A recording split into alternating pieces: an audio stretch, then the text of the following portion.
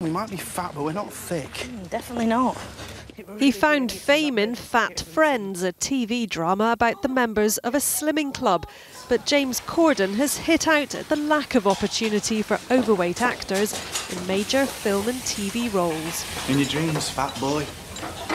In your dreams.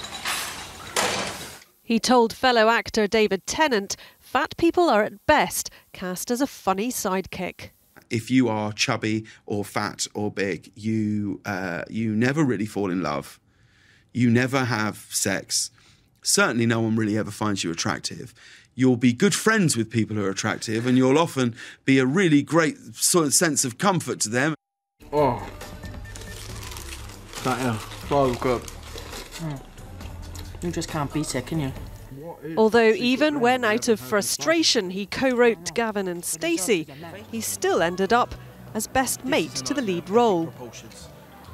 Lord Bolton sent for us.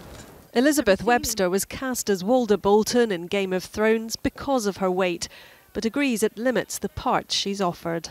I don't know where the blockage is, but I but I know that there is one and can we all work together to find a way to bring more of those stories in that are less about what you look like and more about the reality of the lives we live. And casting directors agree it's time for the industry to step away from the stereotypes.